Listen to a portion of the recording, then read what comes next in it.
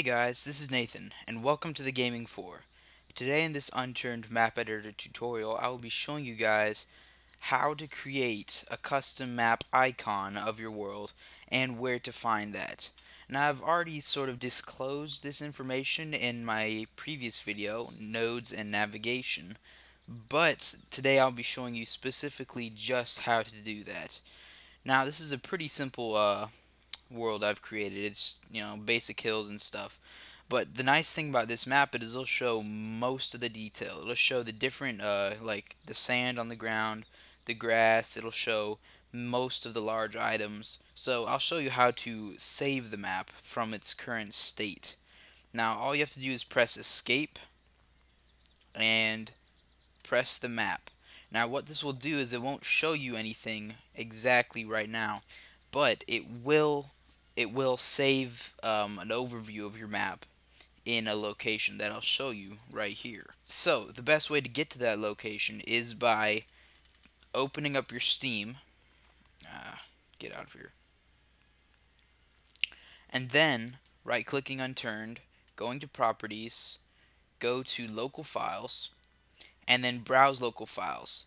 Now this is also the place where you can find your maps, your servers, stuff like that. So it's very useful to know how to get here.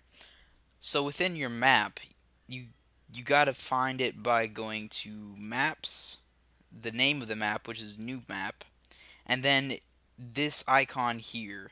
It's a PNG file, but really it's an icon that'll be used for your map. So when you open up this this little PNG file here, it'll show you the overview of your map. And as you can see, it really doesn't show much, but that's because there wasn't really much on my map in the first place. But as you add stuff and you re uh, remake this by clicking the button again, it'll continually add more and more detail as you add stuff onto the map.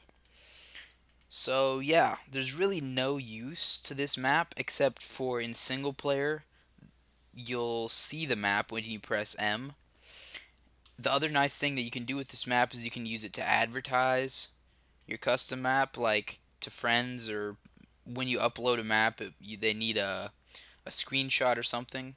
So you can put it as the screenshot, but, you know, there's no other real use for that map. But anyway, I just thought you guys would like to know that, and thank you for watching. See you guys later.